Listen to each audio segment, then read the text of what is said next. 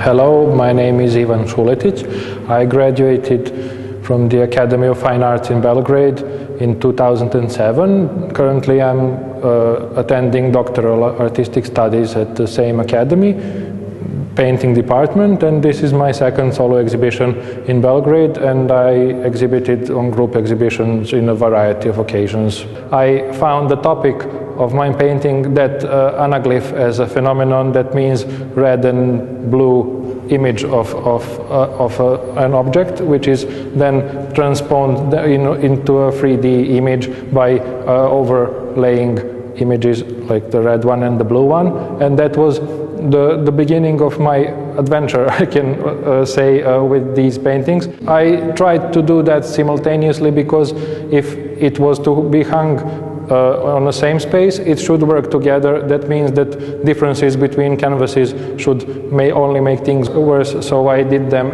at the same time.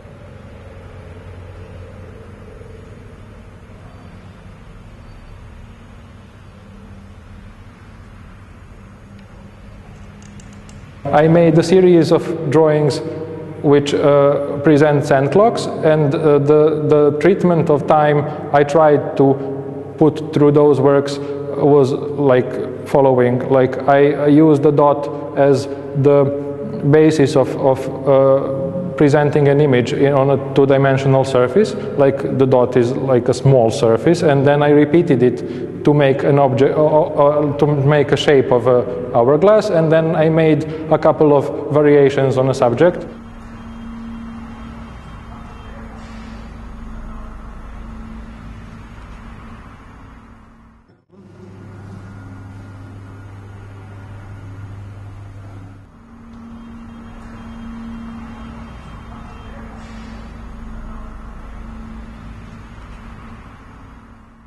I have uh, the thing that is interesting to me in in arts, in artworks, in in fine arts, in visual arts, and that is the problem of space and time, and problem of conceptualizing space on two-dimensional surface or time on two-dimensional surface and I try to find the mode which is most presentable. So I found this as a mode which is already existing in design in, I don't know, animation, like the way of showing 3D space in two-dimensional surfaces like in the movies or in the comic books.